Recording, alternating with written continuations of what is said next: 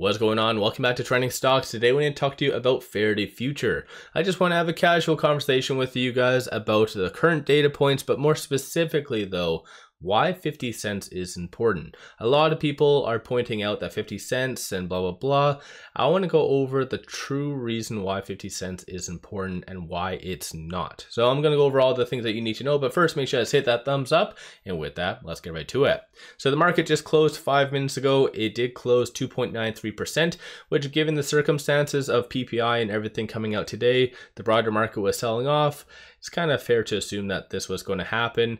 And after hours, though, it is going up 0.38%. So it did have a nice push above that conveniently 50 cent mark. So once again, I'm going to go over everything. There was news that came out uh, kind of midway throughout the day, and that was Faraday Future delivers a FF91 2.0 to his first retail user. So they actually did post this as well on social media. It was done this morning, so kind of a little bit more of a discrepancy. And I actually did look, it looks like this actually did come out several days ago. So just by doing a vague search of that individual, the retail investor's name, it looks like it came out a couple days ago, like three days ago. So obviously a little bit more of a delay in that but still regardless i think this is very good. As i've said in the past a lot of people get into faraday because of the squeeze aspect not necessarily because of the operational updates.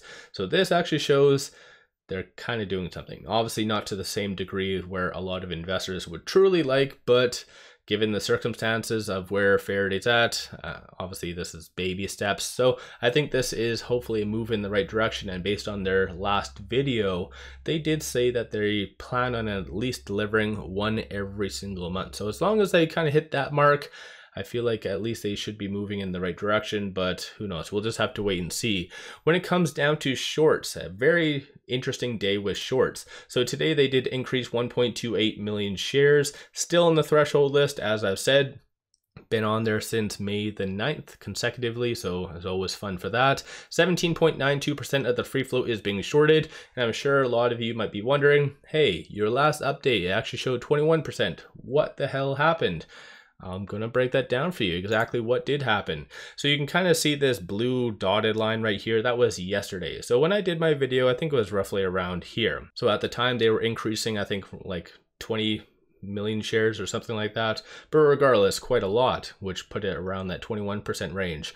You can kind of see after hours, this is where at its peak, they were increasing 48 million shares. And then randomly during the last, uh, was it 20 minutes or something like that this is where they just dumped everything so went from 44 million to 12 million so they did return quite a lot and thus that's why it did get down to now that 17.92 percent so just so you're aware. But on a side note, though, 78 million shares overall are being shorted. So definitely shorts are playing around with Faraday. Um, so it's a very big psychological game. And that's actually a good transition point into why 50 cents is important. So for instance, if you're looking on the actual chart itself, just generally hold numbers, not even just Faraday, but every stock out there, hold numbers is a very big support slash resistance in either direction. Given the circumstances of where Faraday's at, obviously that leaves 50 cents being a very strong support. And below that, obviously I think the last one was roughly like 15 cents or 20 cents. So it kind of does represent a free fall, if that kind of makes sense. Um, obviously, that might be changed given uh, support levels and everything like that, but 50 cents is important. And plus, when it comes down to Faraday, it's kind of a twofold event. So it's more of a psychological thing. And then secondly, options. So options do play a very big part because market makers and shorts, they do not want any stock to close above strike levels, especially when there is a lot in open interest. So what they would rather do is try to suppress the stock below that strike price, then that way those options get kind of expired worthless versus if it closes in the money then the market makers have to go to the open market to actually buy those shares to cover those options.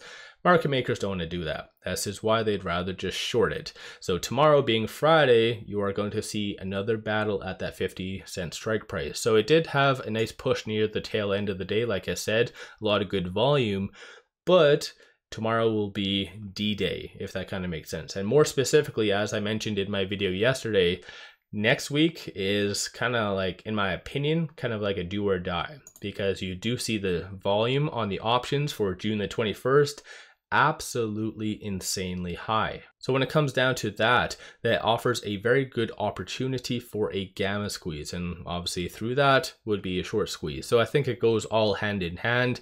So yeah, very interesting stuff.